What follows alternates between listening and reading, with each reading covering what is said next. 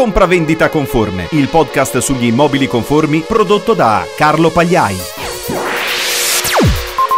Circolano le prime bozze di proroga del super bonus e dei vari bonus edilizi minori. Vediamo quali sono gli scenari a oggi 5 novembre 2021. Appunto è una bozza, può cambiare di tutto da qui a quando verrà approvata in via definitiva. Diciamo, teniamo d'occhio i vari emendamenti che verranno poi aggiunti, discussi nelle commissioni parlamentari e poi appunto nell'approvazione. Bene, prima di andare avanti vi presento Carlo Pagliai, ingegnere urbanista, miei riferimenti Facebook, LinkedIn, Instagram, il mio blog blog a cui potete chiedere pareri tecnici e consulenze e inoltre vi ricordo il mio canale YouTube e Telegram, ok? Mettete like, eh, condividete, iscrivetevi, campanellina come al solito. Direi di andare dritti al punto perché c'è tanto materiale, c'è tanta carne al fuoco proprio perché tanti di noi tecnici hanno già programmato e avviato tutta una serie di interventi. Queste bozze, questa bozza, ne commentiamo una che vedo circolare, potrebbero, potrebbero scompaginare i piani di molti. C'è tutto il problema delle villette unifamiliari che sta un po' mettendo in allarme. Vediamo se facendo varie pressioni anche con questi video, quindi eh, speriamo che questi video commenti che produco arrivino ai piani alti e si possa migliorare, diciamo, il testo.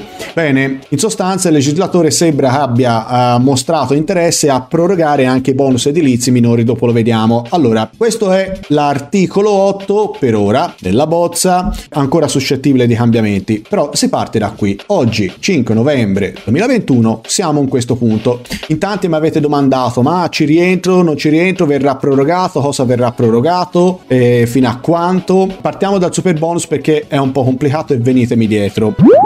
Super bonus 110, sia eco che sisma, articolo 119 del decreto rilancio e siamo lì dentro. Allora, primo gruppo, i condomini e le persone fisiche dell'edificio da 2 a 4 unità immobiliari, quello che abbiamo chiamato più volte il condominio monoproprietario, no? C'è anche riferimento il comma 9 della lettera A, articolo 119 del decreto rilancio, per cui sappiamo benissimo quali sono questi soggetti e quindi il requisito soggettivo. Loro chi? L'abbiamo detto, cosa e quando. Anche gli interventi, quindi eco bonus, sisma bonus, anche gli interventi di demolizione e ricostruzione, dice la bozza, che rientrano nell'articolo 3,1 lettera D del testo unico edilizio DPR 380. Quante volte ho detto guardate che abbiamo un limite superiore che non dovremmo oltrepassare, che è questa definizione di ristrutturazione edilizia. Se non l'avete visto, se siete curiosi, c'è un video approfondimento, lo cercate nel mio canale. Allora, rimane 110 fino al 31 dicembre 2023 addirittura, quindi un bel allungo, poi a scalare, a decrescere 70%, 31 dicembre 2024, 65%, 31 dicembre 2025 e la cessione del credito e sconto in fattura, nella bozza c'è già l'allungamento contestuale, cioè sono due aspetti nel super bonus, aliquota e cessione del credito stanno andando di pari passo, quindi tranquilli, non è solo una questione di aliquota, ma mi hanno prorogato anche cessione del credito e sconto in fattura. E voi dite perché? Dove è scritto? È scritto qua giù perché appunto anche i termini per la cessione del credito e sconto in fattura vengano prolungati, vanno anche da dal 1 gennaio 2022 al 31 dicembre 2025, quindi un bel fronte. Si comincia a dire allora anche per i condomini si comincia ad avere un orizzonte triquadriennale per pianificare bene l'intervento. Chiaro, bisogna affrettarsi perché le aliquote sono decrescenti. Poi, altra cosa la dico diciamo subito, il fotovoltaico e le batterie al 110 con la cessione del credito, ahimè, la bozza attuale verrebbero interrotte al 30 giugno 2022 e questo lascia lascia delle domande su è appetibile allora l'eco bonus 110 se mi viene a mancare un bel trainato vale anche per il sisma perché il fotovoltaico e le batterie è trainato da tutti e due i rami eco e sisma. Oh, speriamo che anche questo venga allungato un po' di più il fotovoltaico. Ora affronterei la questione rovente delle persone fisiche le villette unifamiliari eccetera che sta tenendo banco e sta un po' agitando gli umori di tutti. Dove nasce tutto il conquibus? Comma 8 bis bonus dell'articolo 119 viene sostituito a cosa? Da tutto questo. Ora, io ho fatto un altro ragionamento un po' che mi è stato fatto notare dai vari colleghi, geometri, architetti, ingegneri ed è il seguente. Domanda legislatore, ma se mi sostituisci dal primo di gennaio 2022, appena approvi la manovra economica e me la metti in gazzetta, mi togli questa versione di 8 bis che state vedendo voi,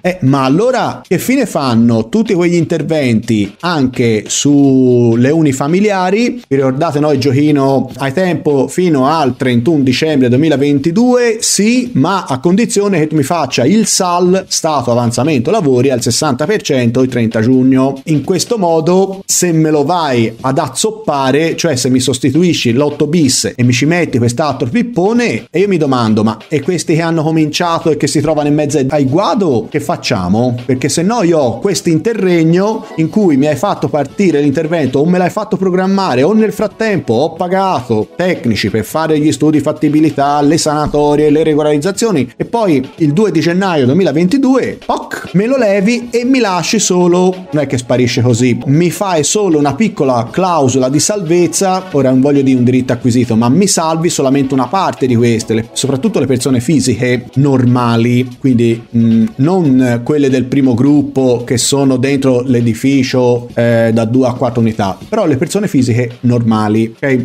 Ecco, allora, me le sostituisci e mi dici due cose, guarda persona fisica, hai tempo fino al 31 dicembre 2022, sì, per l'unità immobiliare abitazione principale, nonché ISEI a 25.000 euro. Ora, a parte il fatto che sull'ISEI a 25.000 euro ognuno la può vedere come gli pare, ma credo che sia anche abbastanza facile superarlo, perlomeno sa apre tutta una serie di interrogativi che non voglio fare. Ho già detto anche sul, eh, sui miei profili social che, boh, insomma, è un fattore molto limitante. Però qui non si parla solo di unifamiliari, cioè si sta concedendo 2022 la possibilità di fare questa cosa a condizione che sia unità immobiliare abitazione principale. Io ho letto sui giornali che eh, sembra che riguardi solo le unifamiliari. No, no, riguarda anche le villette a schiera, riguarda qualunque tipologia, non c'è solo il riferimento alla unifamiliare. Nella bozza c'è la parola unifamiliare, non c'è riferimento all'articolo 119,1 dei trainanti eco bonus dove si fa riferimento all'unifamiliare, no, si fa riferimento, quindi io anche su questo punto ho un po' di perplessità. A questo punto se siamo a suonare gli allarmi, suoniamoli per bene e diciamo guardate qui non sono a rischio solo interventi sulla villettina unifamiliare, ma anche la villetta schiera a questo punto rischia l'appartamento autonomo con funzionamento indipendente, no, anche quello rischia di uscire perché? Perché non è la tipologia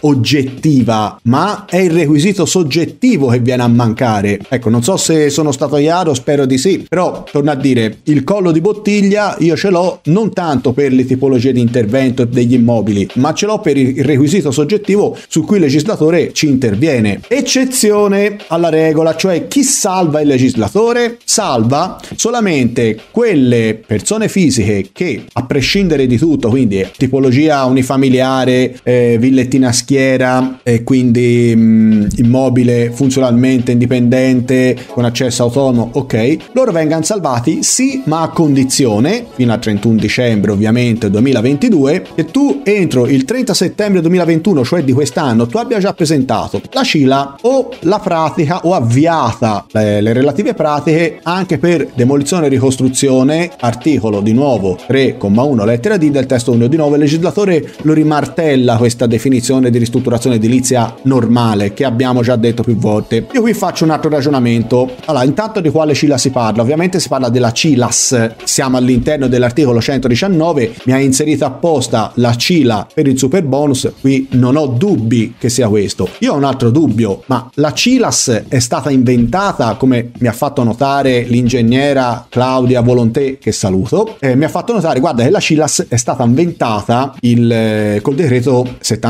2021, è entrata in funzione. The South Dakota Stories, Volume 5.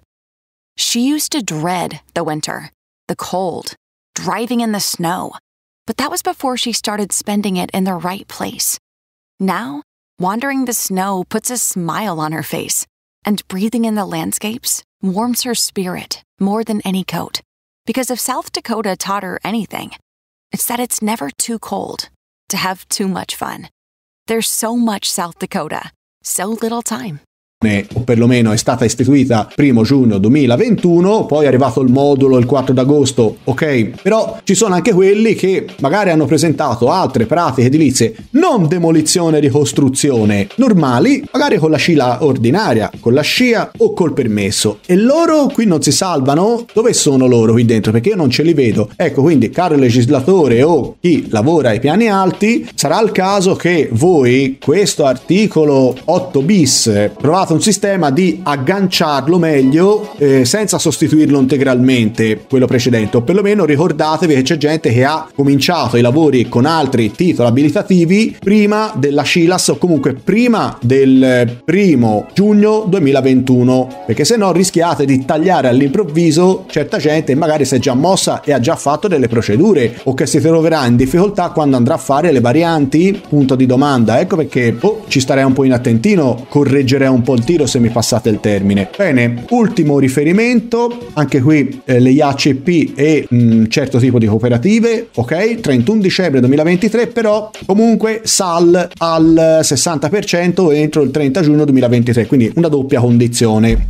Ok, ripeto, per tutte queste cose, cessione del credito, sconto un fattura, super bonus, perché appunto c'è anche la proroga di pari passo di tutti e due i requisiti, aliquota 110 più cessione del credito. Possiamo dire che è blindata la faccenda. Ora passiamo all'altro ramo, categoria dei bonus edilizi minori. Bonus facciate, a quanto pare, bonus facciate scenderà nel 2022, quindi non sappiamo se c'è nel 2023. La bozza intenderebbe scendere dal 90 al 60% di aliquota. Gestione del credito, sconto in fattura, boh, ne parliamo un fondo. Idem, è tornato in campo, diciamo lo danno per sicuro, il bonus ristrutturazione 50% più il sisma bonus ordinario, no 110, ordinario, vi ricordate no? 50, 70, 75, 80, 85, lui. E gli hanno dato anche qui un orizzonte lungo, 31 dicembre 2024. Bello, insomma un, un allungo triennale non fa male. Perché ho detto tutti sisma bonus ordinari? Perché se si va a leggere la bozza, in fondo dell'attuale articolo 8, in qualche modo si fa riferimenti, ci sono i commi 1, 1 bis e 1 ter di cosa? Dell'articolo 16, decreto 63 2013, quello del bonus casa 50%, del sisma bonus ed eco bonus,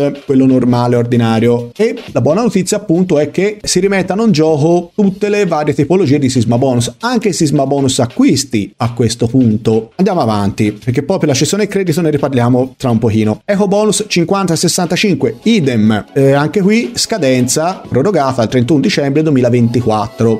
Questo è quanto emergerebbe dalla bozza. Eccola qua, veramente il punto importante cessione del credito sconto in fattura per i bonus edilizi minori è stata indicata come probabile. Io aspetto la conferma. Si sta dando per assodato che il legislatore stia prorogando sì i bonus edilizi minori, tra l'altro c'è anche il bonus mobili ma non l'affrontiamo, però ci sia anche la cessione del credito, quindi le famose preghiere che abbiamo fatto eh, con qualche video precedente e con qualche articolo sono state ascoltate. Speriamo che venga tutto confermato e vediamo gli emendamenti. Però da qui esce un quadro abbastanza positivo. Se posso fare una specie di sintesi da questo punto di vista, mi viene da dire che mh, mm, c'è una proroga lunga e favorevole per i condomini e questo un po' il legislatore, mh, mm, diciamo le statistiche, non tanto il legislatore, ce l'avevano scampanellato. È anche vero che è più penalizzata la piccola proprietà, quindi l'edificio unifamiliare, la villetta schiera, quindi l'unità autonoma, eh, quella veramente per ora da questo quadro ne uscirebbe penalizzata, un po' imprigionata o con delle criticità perché la norma verrebbe sostituita in corso d'opera all'improvviso e come al solito quando si fanno questo tipo di cambiamenti andrebbe fatta anche una, una migliore norma transitoria per chi ha già pianificato e programmato tutto, altrimenti ripeto ci sono coloro che si erano già mossi per le villette unifamiliari per esempio, per le villette a schiera per poter rientrare in questi termini rispettando il SAL 60% al 30 giugno giugno 2022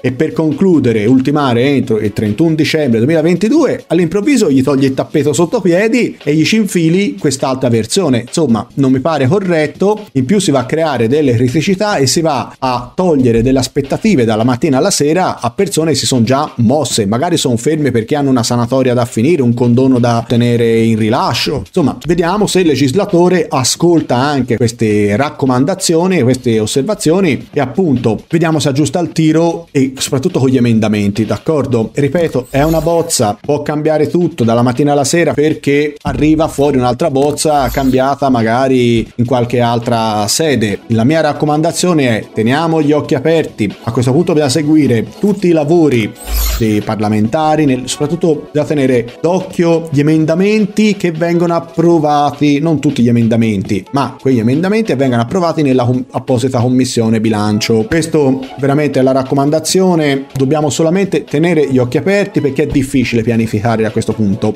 Mi sento di dire che una prima sgrossatura, una prima intenzione, un exit poll da questo quadro esce. In pole position abbiamo il super bonus per i condomini. Quegli altri la vedo dura, ecco, la vedo le villette unifamiliari, le villette a schiera, mm, magari vedo gli edifici, quelli composti da 2 a 4 unità immobiliari che in qualche modo si sono un po' agganciati ai condomini, loro diciamo hanno la possibilità di andare avanti, come mi auguro e come auguro un po' a tutti.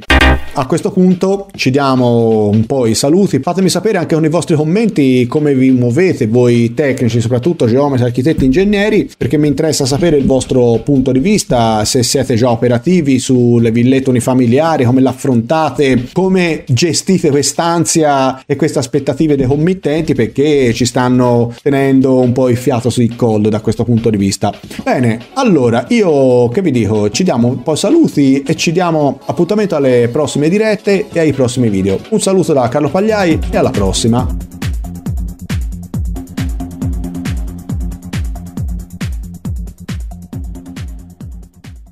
Discover unbeatable deals and convenience at your neighborhood family fair supermarkets. Score exclusive deals, earn rewards, join clubs, and clip digital coupons for extra savings all in one place. Our exclusive offers bring savings straight to your card. Explore a wide range of local products that support your community. With easy pickup and delivery options, saving time and grocery shopping has never been easier. Family Fair is all about making your grocery experience easy and affordable at your one stop shop for all your grocery needs. Family Fair in your neighborhood.